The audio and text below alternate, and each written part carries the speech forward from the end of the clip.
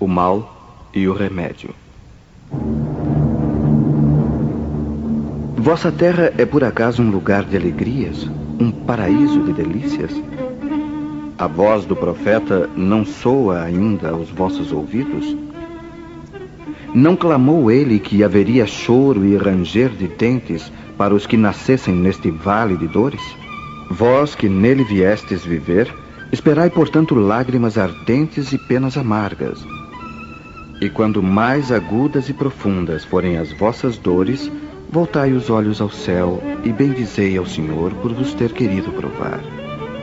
Ó oh, homens, não reconhecereis o poder de vosso Senhor, senão quando ele curar as chagas do vosso corpo e encher os vossos dias de beatitude e de alegria?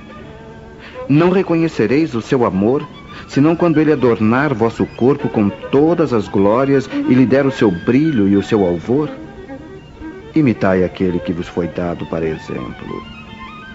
Chegado ao último degrau da abjeção e da miséria, Estendido sobre um monturo, ele clamou a Deus: Senhor, conheci todas as alegrias da opulência e vós me reduzistes à mais profunda miséria.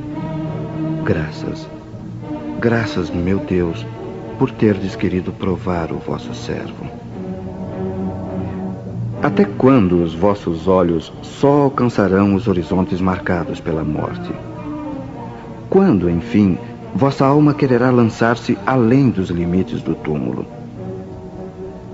Mas ainda que tivesseis de sofrer uma vida inteira, que seria isso ao lado da eternidade de glória reservada àquele que houver suportado a prova com fé, amor e resignação?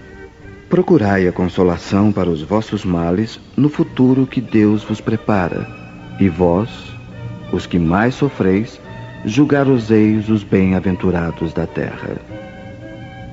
Como desencarnados, quando erráveis no espaço, escolhestes a vossa prova, porque vos consideráveis bastante fortes para suportá-la. Por que lamentais agora? Vós que pedistes a fortuna e a glória, o fizestes para sustentar a luta com a tentação e vencê-la. Vós que pedistes para lutar de alma e corpo contra o mal moral e físico, sabíeis que quanto mais forte fosse a prova, mais gloriosa seria a vitória, e que se saísseis triunfantes, mesmo que vossa carne fosse lançada sobre um monturo, na ocasião da morte, deixaria escapar uma alma esplendente de alvura, purificada pelo batismo da expiação e do sofrimento. Que remédios poderíamos dar aos que foram atingidos por obsessões cruéis e males pungentes? Um só é infalível: a fé. Voltar os olhos para o céu. Se no auge de vossos mais cruéis sofrimentos cantardes em louvor ao Senhor, o anjo de vossa guarda vos mostrará o símbolo da salvação e o lugar que devereis ocupar um dia. A fé é o remédio certo para o sofrimento. Ela aponta sempre os horizontes do infinito, ante os quais se esvaem os poucos dias de sombras do presente. Não mais nos pergunteis, portanto, qual o remédio que curará tal úlcera ou tal chaga, essa tentação ou aquela prova.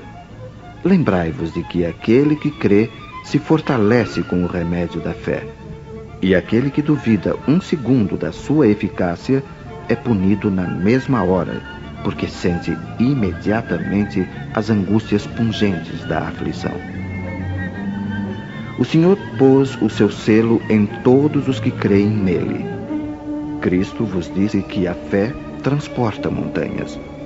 Eu vos digo que aquele que sofre e que tiver a fé como apoio será colocado sob a sua proteção e não sofrerá mais.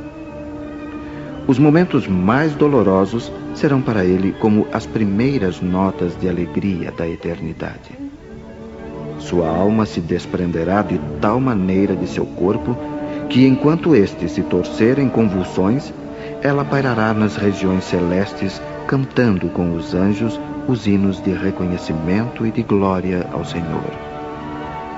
Felizes os que sofrem e choram que suas almas se alegrem, porque serão atendidas por Deus. Se você gostou, aproveite.